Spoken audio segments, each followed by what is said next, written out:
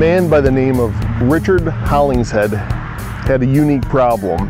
Him and his mother loved cinema, but unfortunately his mother was a large woman, could no longer fit in the tiny theater seats. So he had this novel idea of placing a big screen outside and using a projector. He could pull up the car and his mother could sit with him and they could enjoy a film together. Well, neighbors saw this and they wanted in. Friends heard about it, they wanted in. Everybody thought this was an awesome idea. And you know what? Richard opened the first ever drive-in theater in New Jersey in 1933. Drive-in theaters grew in popularity across the United States. In the late 50s, there were over 4,000 open to the public. They used 35 millimeter film projectors and you listened to the broadcast through a speaker located on a pole right outside your car. Unfortunately, the interest in drive-in theaters has waned and steadily over the years they've closed. There's only 330 left across the entire United States. However, the technology of old has been replaced. They're, most theaters are now equipped with digital projectors. There's uh, FM radio transmission so you can listen to the broadcast right through your car radio. Drive-ins are often more affordable than a traditional movie theater. Also, they're more social. You see folks grouped together on blankets, throwing around a frisbee or playing miniature golf before a picture starts. Also, there's special events like classic car nights, nights where overnight camping is encouraged, and particular favorite of mine, Horror Fest in October. There's a wonderful feeling of nostalgia as you enjoy this relic of the past and enjoy an evening under the stars. Join me as we travel around central New York and check out some of the awesome drive-ins we have to offer.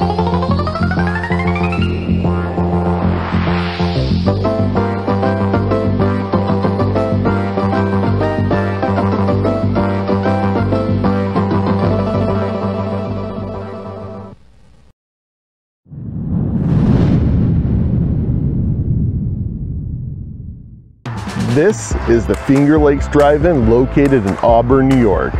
First opened its doors in the summer of 1947. That makes it the oldest continually run drive-in in New York State. It's a one-screen drive-in theater that holds about 300 cars in its lot. Some of my favorite features here are the sound. You get to use the classic speaker boxes, or you can use FM radio, or you can use their new Wi-Fi Anywhere. You can listen to the broadcast right through your phone or transmit to a Bluetooth speaker if you're on a blanket or using lawn chairs. That's an, that's an awesome option.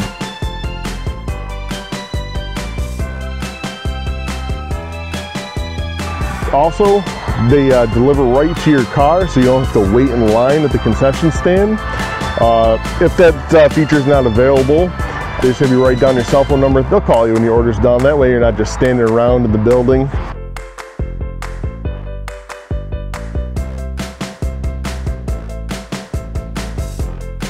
Man, this is a great theater. If you want to pay homage to one of the oldest and greatest, you got to come to Auburn, New York, Finger Lakes Drive-In.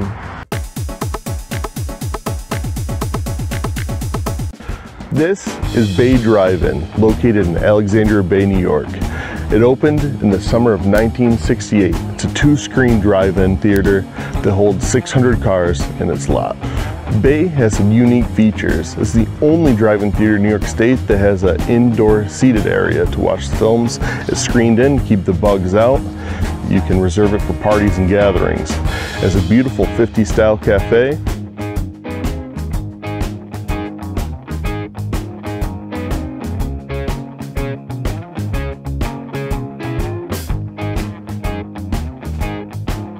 Over here at screen two, you have the regular posts. You can listen to your broadcast through FM radio, but over at screen one, you actually get a choice. You can listen to it through FM radio, or you can listen through the classic speaker boxes. For those of you who are wondering, you can switch between films at intermission if you like what the other side is showing better. This is uh, very well cared for drive-in theater. Uh, it's a must visit you're taking a uh, little trip up to A-Bay. Good evening. It's intermission time. Our service is friendly and quick.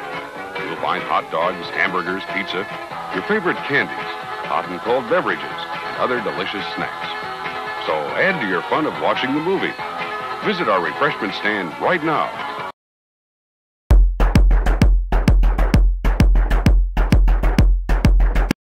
This is the Midway Drive-In located in Minetto, New York.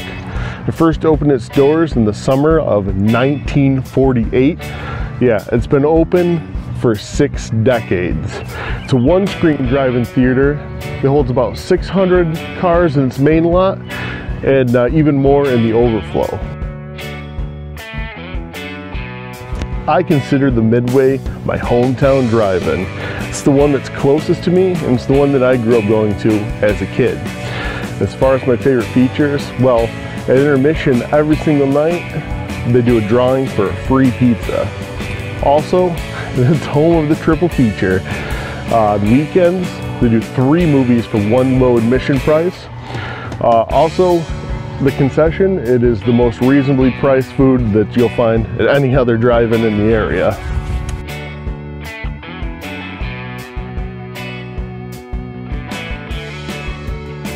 If you're in the area, come check this place out. You'll probably see me here.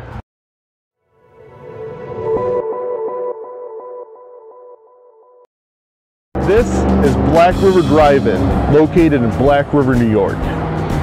It was built in 1950 and ran till the mid 80s when unfortunately the concession stand sustained major damage in a fire. It went dark, closed its doors for 20 years.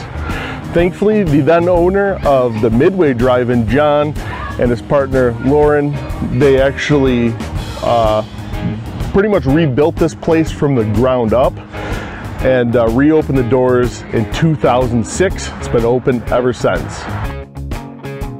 Black River is a one-screen drive-in theater that holds about 550 cars in its lot. My favorite features here are the retro feel of the concession stand, its nightly drawing for a free pizza at intermission, and I am a huge fan of its location. You drive down New York 3, pretty much in the middle of nowhere, uh, head into the uh, slightly paved, slightly uh, gravel uh, road leading to what feels like the middle of the woods. It's surrounded by trees. I'm a huge horror fan. This is where I want to be to watch a horror movie. You literally feel like you're in the middle of the woods watching a film. It's fantastic. If you're in the area, this is a must visit. So there's four examples of uh, drive-ins here in central New York. There's there's many more actually. Um, New York is rich in drive-ins. Um, so lucky uh, up north I want to mention uh, 56 driving in Massena. Uh, east of us, uh, Queensbury has a beautiful uh, um, drive-in called Glen Drive-In. It's a two-screen. Below us, we have uh, Elmira Drive-In. And to the uh, west, of course, we have a Transit Drive-In, a five-screen drive-in theater. It's absolutely stunning. I, I, would say visit any of these, any of these if you're in the area. Um, down below, if you're if you're not in this state, I'm gonna leave uh, very top uh, link is uh, uh, how you find a drive-in close to you. Uh, thanks for watching guys. I hope you get a chance to watch a film under the stars. Hey guys, thanks for watching. I hope you'll consider subscribing and checking out some more videos from us. If you like what you saw, feel free to give me a thumbs up.